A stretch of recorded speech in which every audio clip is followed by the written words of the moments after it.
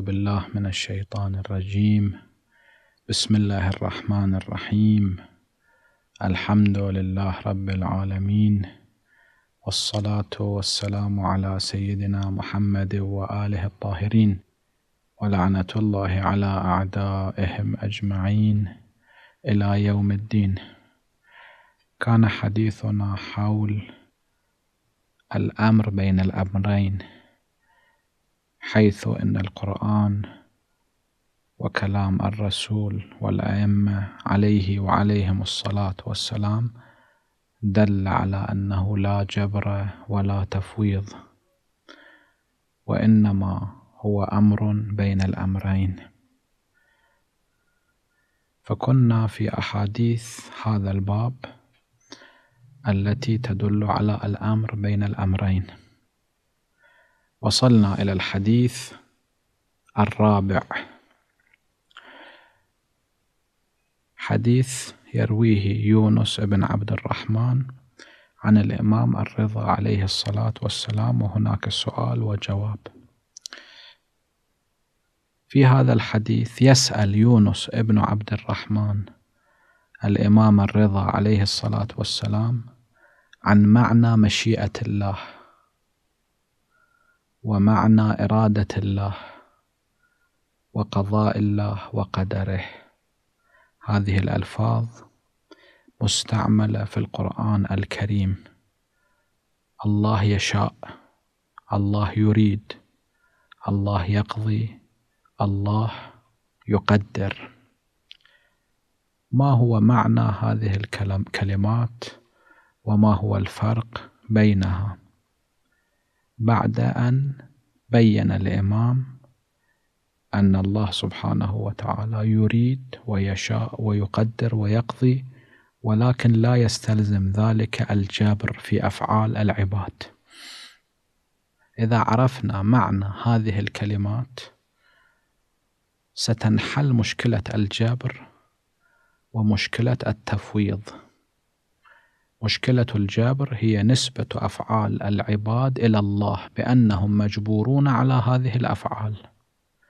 وأما التفويض فمعنى ذلك أنه لا قضاء ولا قدر لله سبحانه وتعالى ولا مشيئة ولا إرادة في أفعال العباد. فهو عزل لله عن ملكه وكلا الزعمين باطلان. إذا عرفنا معنى هذه الكلمات المشكلة تنحل والحق يتضح فإن من مشاكل الناس والمشاكل التي أبتلي بها المسلمون هو أنهم لم يفهموا أو لم يفهم بعضهم معاني الكلمات القرآنية فأولوها حسب أهوائهم أو حسب عقولهم الناقصة فأخرجوها عن معناها وبنوا عليها عقائد فاسدة وأفكار باطلة. والله سبحانه وتعالى قد حذر من هذه الحالة. المؤمنين مثلا في القرآن الكريم في سورة آل عمران الله سبحانه وتعالى يقول فأما الذين في قلوبهم زيغ فيتبعون ما تشابه منه.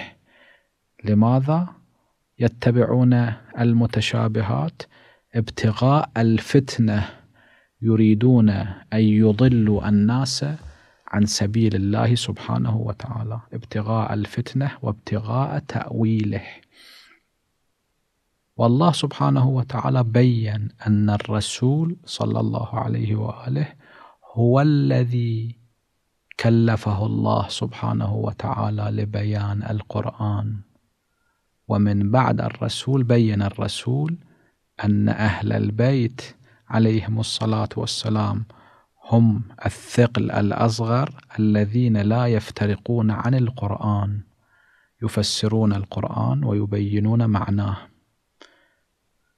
الله سبحانه وتعالى يقول ما آتاكم الرسول فخذوه.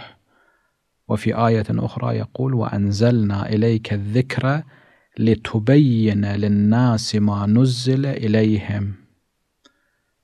فالله سبحانه وتعالى أمر الرسول أن يبين للناس الآيات المتشابهة ويفسر القرآن الكريم. ومن بعد الرسول هو وصى بالثقلين.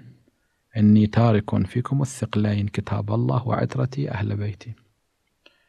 لكن لما تركوا أهل البيت عليهم الصلاة والسلام واستقوا علومهم من غيرهم حدث الضلال الكبير في الأمة.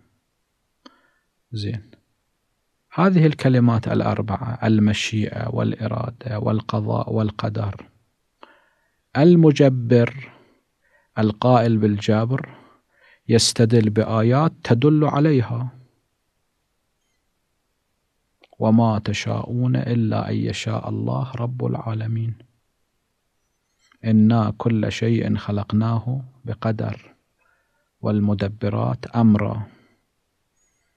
إذا قضى أمرا فإنما يقول له كن فيكون. إذا أراد شيئا ان يقول له كن فيكون.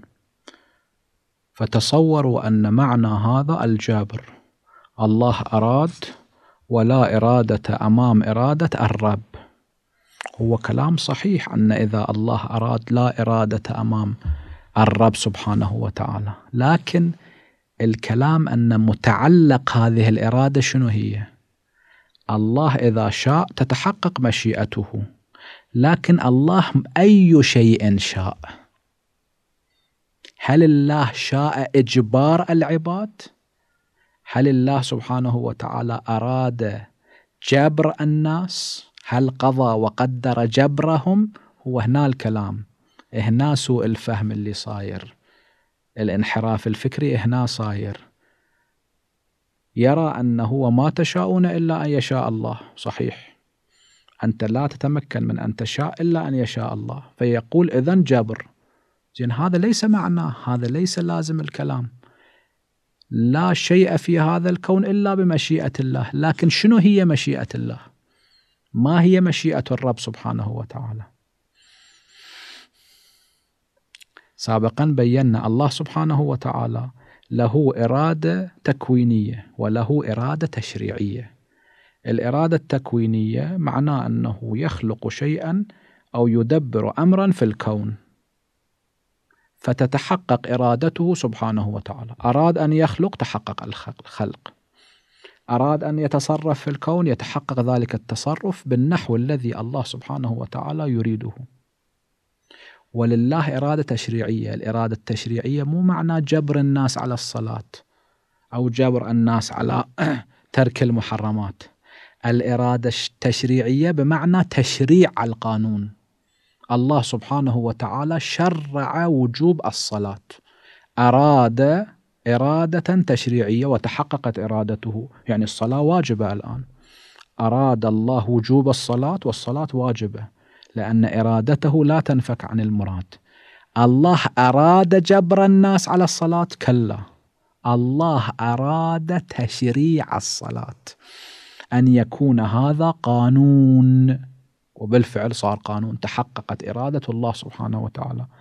الإرادة لا تنفك عن المراد سواء في الإرادة التشريعية أو الإرادة التكوينية. لكن المراد التكويني الخلق أو التدبير وهو يتحقق. المراد التشريعي ليس إجبار الناس على الصلاة أو على ترك المحرمات. الإرادة التشريعية هو تشريع القانون.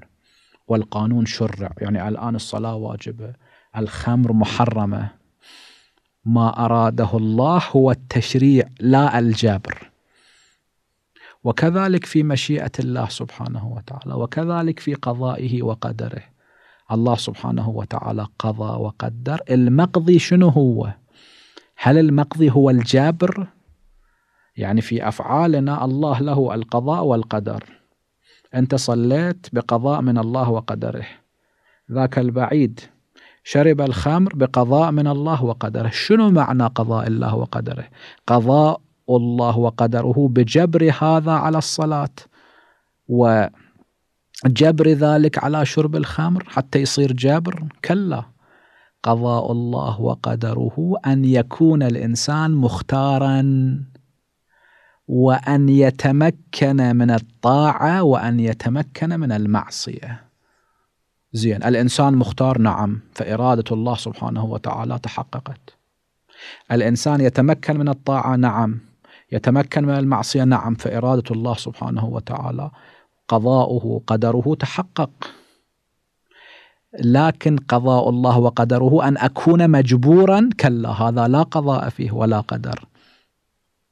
فلا مثل المفوضة اللي ينفون القضاء في أفعال العباد والقدر في أفعالهم بالمرة ولا مثل المجبرة الذين يقولون فعلك مجبور أنت عليه لأن الله قضى وقدر فعلك الأمر بين الأمرين شنو يقول؟ يقول لا الله في أفعالك له قضاء لكن قضاؤه ليس قضاء جابر قضاء الله في أفعالك بمعنى أنه الله سبحانه وتعالى أعطاك الاختيار بين لك طريق الرشد من طريق الغي عبر إرسال الرسل وإنزال الكتب وعبر العقل الذي حباك إياه وأيضا رفع الموانع. ماكو مانع يعني واحد يريد يصلي ماكو مانع أمامه أو واحد يريد يعصي ماكو مانع أمامه. رفع الموانع أعطاك القدرة بين لك طريق الرشد من طريق الغي. هذا هو قضاء الله سبحانه وتعالى. وقضاؤه أن تكون مختارا في اختيار الطاعة واختيار المعصية. فأكو قضاء لكن ليس قضاء جابر فهذا صار الأمر بين الأمرين. فإذا إحنا التفتنا إلى معاني هذه الكلمات القرآنية وقد بينها لنا الأئمة من أهل البيت عليهم الصلاة والسلام من علوم أخذوها من جدهم رسول الله صلى الله عليه وآله الذي تلقاها بوحي من الله عز وجل إذا إحنا اتبعناهم وأخذنا علومنا منهم العلوم الدينية راح نفهم المعنى الصحيح للآيات القرآنية. لا أنه نؤول هذه الآيات بخلاف ما أراده الله ارادها الله سبحانه وتعالى بحيث تنطبق هذه الآية فأما الذين في قلوبهم زيغ فيتبعون فيتبعون ما تشابه منه ابتغاء الفتنة وابتغاء تأويله. زين هسه نشوف الإمام الرضا عليه الصلاة والسلام ماذا قال ليونس ابن عبد الرحمن. قال يا يونس لا يكون إلا ما شاء الله وأراد وقضى وقدر. مشيئة الله إرادة الله قضاء الله قدر الله. لكن شنو معنى هذه الكلام كلمات؟ يا يونس تعلم ما المشيئة. شنو الفرق بين المشيئة والإرادة؟ يمكن أنت تجي في المعنى اللغوي تفتح كتاب اللغة اللغوي يفسر الإرادة بالمشيئة والمشيئة بالإرادة كلمتان لغة قد تكونان في بعض. معاجم اللغة كلمتان مترادفتان. لكن في الاصطلاح القرآني والروايات التي بينها الرسول صلى الله عليه وآله والأئمة هذه الكلمات بينها فرق. مشيئة الله بمعنى الذكر الأول الذكر الأول شنو هو؟ إحنا سابقا نقلنا رواية عن الإمام الصادق عليه الصلاة والسلام رواها الكليني في الكافي وفي إحدى الحلقات الماضية تطرقنا لهذه الرواية الإمام ماذا يقول؟ خلق الله المشية بنفسها ثم خلق الأشياء بالمشيئة بشكل مختصر الله سبحانه وتعالى. أول خلق خلقه خلق اللوح المحفوظ حسب هذا الحديث وأحاديث أخرى. وسجل في هذا اللوح المحفوظ كل التقديرات وكل الحوادث التي ستقع. هذا اللوح المحفوظ. ثم خلق لوحا آخر سجل فيه القضايا لكن القضايا التي يمكن أن يكون فيها البداء. يمحو الله ما يشاء ويثبت وعنده أم الكتاب. في اللوح المحفوظ الأمور الحتمية مذكور. في اللوح في اللوح المحو والإثبات الأمور مذكورة وقد يكون فيها البداء. زين. أول شيء الله سبحانه وتعالى خلقه اللوح المحفوظ سجل فيه كل القضايا والتقديرات الحتمية. لذا ما في اللوح المحفوظ مطابق لعلم الله الأزلي. فهذا أول ما خلقه الله سبحانه وتعالى. طبعا إحنا في الروايات عندنا روايات متعددة في أول ما خلق الله في بعض الروايات أول ما خلق الله العقل في بعض الروايات أول ما خلق الله نور محمد صلى الله عليه وآله في بعض الروايات أول ما خلق الله الماء في بعض الروايات أول ما خلق الله اللوح. ولا تنافي بين ذلك لأن هذه الأولية إنما هي أولية نسبية.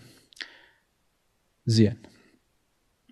فمشيئة الله بمعنى التسجيل في اللوح المحفوظ. ولذا أي شيء شاءه الله يتحقق. لأن الله سبحانه وتعالى سجل في اللوح المحفوظ ما يتطابق مع علمه الأزلي فيستحيل أن يتخلف علمه عن المعلوم. يعني الله يعلم شيء ثم واحد يجي يدعي يقول أنه هذا العلم لم يتحقق يعني العلم صار جهل وهذا محال ويستلزم الكفر. علم الله لا يكون جهلا. زين. فمشيئة الله سبحانه وتعالى اللوح المحفوظ. زين. شنو هي هذا؟ شنو هو الشيء اللي مكتوب في اللوح المحفوظ؟ في اللوح المحفوظ مكتوب القضايا لكن هل هذا المكتوب سبب جبر الإنسان؟ كلا، مثل علم الله الأزلي، هذا سابقا هم ذكرنا. الله ازلا كان يعلم بأن فرعون سيختار الكفر. الله ازلا كان يعلم بأن مؤمن آل فرعون سيختار الإيمان. زين فرعون كان مجبور على الكفر؟ لا. مؤمن آل فرعون كان مجبور على الإيمان كلا الله أزلا يعلم أن هذا بحسن اختياره سيختار الإيمان وذاك بسوء اختياره سيختار الكفر فإذا الوجود في اللوح المحفوظ مشيئة الله سبحانه وتعالى لا تستلزم الجبر لماذا؟ لأن الله شاء لكن متعلق المشيئة شنو هو؟ متعلق المشيئة الجبر كلا متعلق المشيئة الاختيار. قال هي الذكر الأول يعني المشيئة الذكر الأول يعني المخلوق الأول. زين. السؤال الثاني الإمام يسأله فتعلم ما الإرادة؟ الإرادة شنو هي؟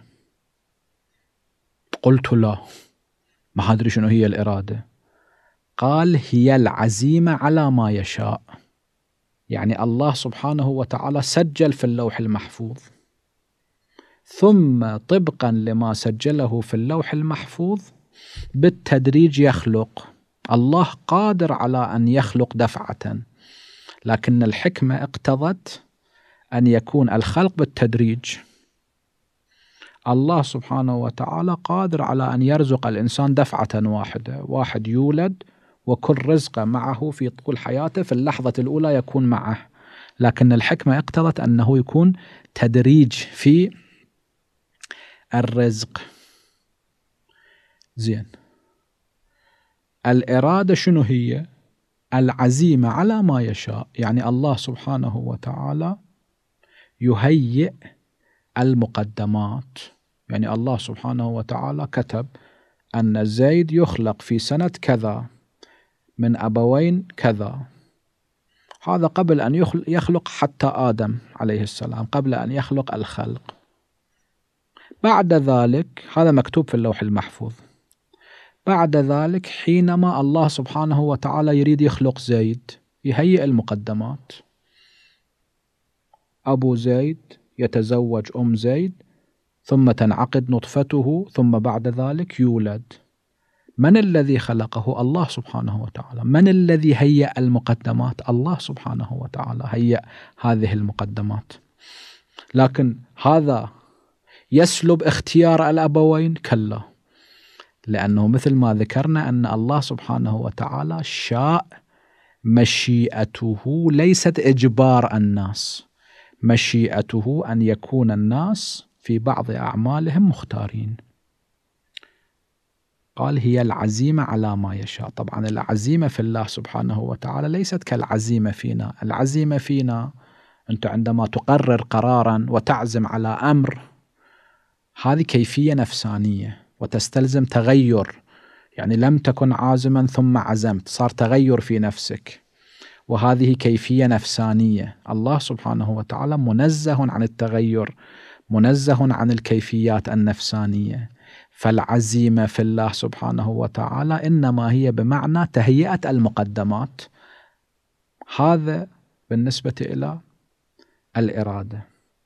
فتعلم ما القدر القدر شنو هو؟ القدر بيان أو تقدير حدود الشيء. وما أمرنا إلا واحدة كلمح بالبصر.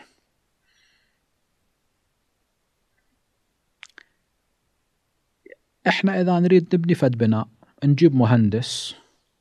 هذا المهندس يرسم خريطة يبين الحدود. يقول طول هذا البناء مثلا كذا متر عرضه كذا متر ارتفاعه كذا متر كذا مقدار يحتاج له إلى أساس ويعين هذه الأمور. طبعا هسه في البناء يمكن في بناء واحد بحاجة إلى عدة مهندسين لأن الهندسة أيضا صارت تخصصات. يعني هي كلمة الهندسة بالأساس كلمة معربة وهي كلمة فارسية أصل أصلها أندازة.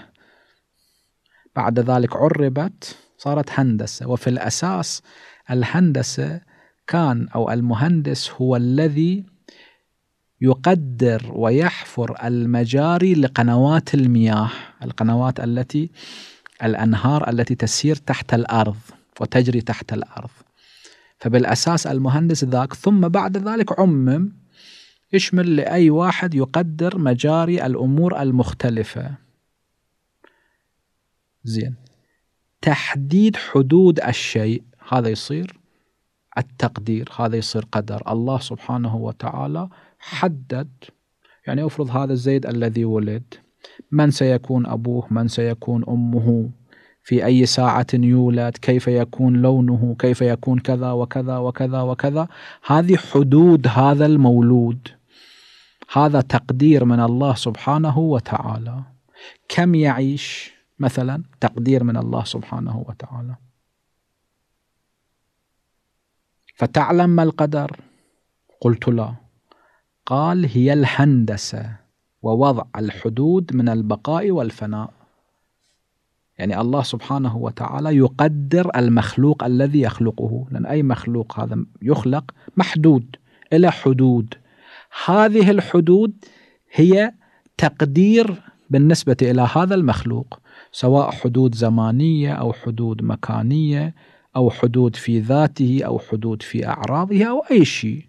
بالنتيجة الشيء ما لم يتشخص لم يوجد في العبارة المنطقية المعروفة أو الشيء ما لم يوجد لم يتشخص. إذا الشيء الموجود له مشخصات خصوصيات فردية. هذه الحدود لهذا الشيء وحدود وجوده والحدود في قدرته والحدود في كذا وكذا وكذا كل ما يتعلق به هذا قدر الشيء. هذا هو القدر. سابقا فيما مضى شرحنا معنى أنه نقول قدر الله سبحانه وتعالى. يعني الله سبحانه وتعالى عين لجسم الإنسان. حدود إذا تعدى هذه الحدود أصيب بالمصائب. تحمل الصدمة. المقدار اللي هذا الجسم يتحمل الصدمة كم؟ إذا أزيد من ذاك صار يصير كسر. هذا الكسر شنو هو؟ هذا زيادة عن الحد.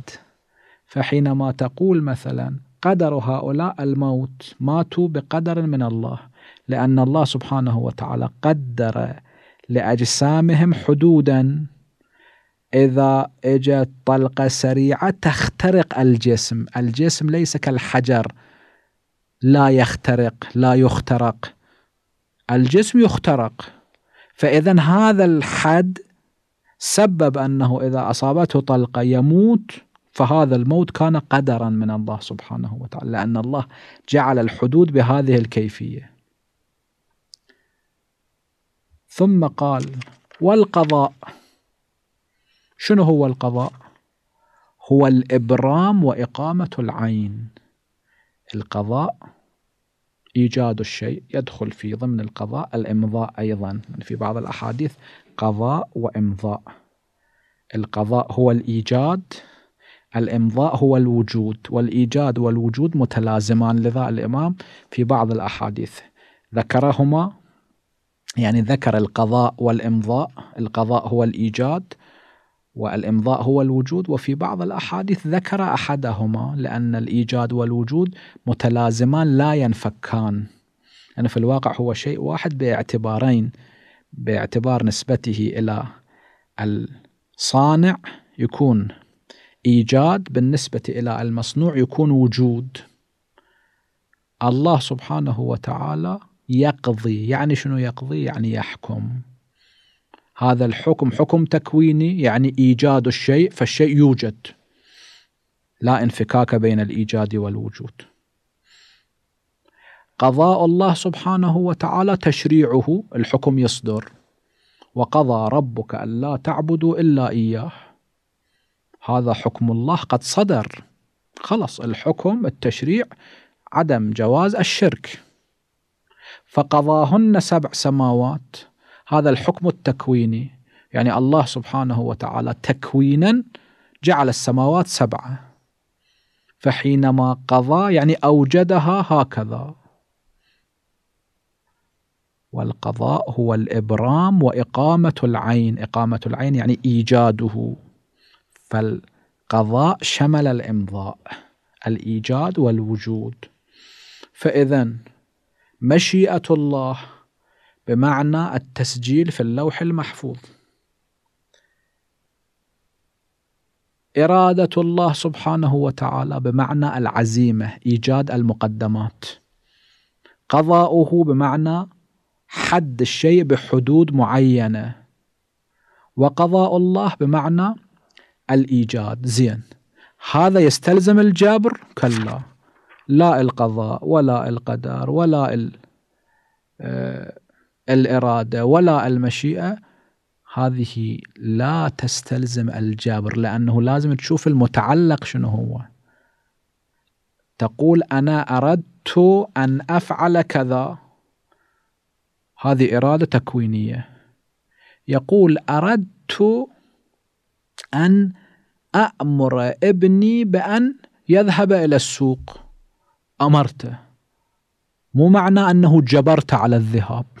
أمرته بذلك والأمر قد صدر.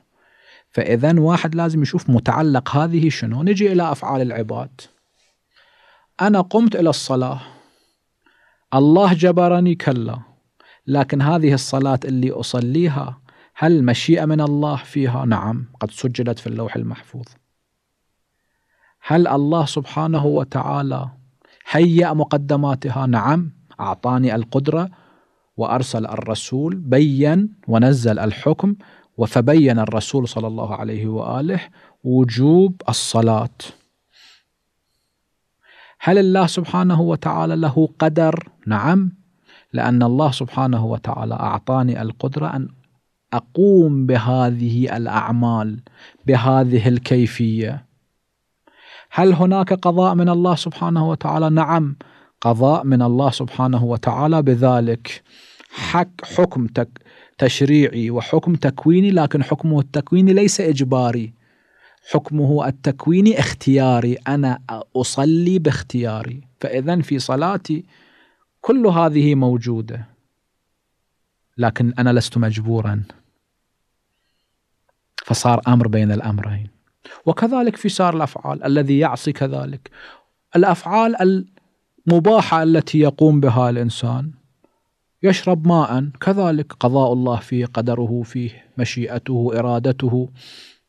لكن العبد ليس بمجبور. فاذا فهم هذه الكلمات القرآنية تعطي للإنسان بصائر وبصيرة لكي يفهم العقيدة الصحيحة والحكم الصحيح وما أراده الله سبحانه وتعالى. عدم فهم هذه الكلمات والتأويل الخاطئ هذا يسبب انحراف الإنسان والزيغ في قلبه، نستجير بالله سبحانه وتعالى من ذلك ونسأله الهداية لنا ولجميع الناس، هذا وآخر دعوانا عن الحمد لله رب العالمين وصلى الله على سيدنا ونبينا محمد وآله الطاهرين.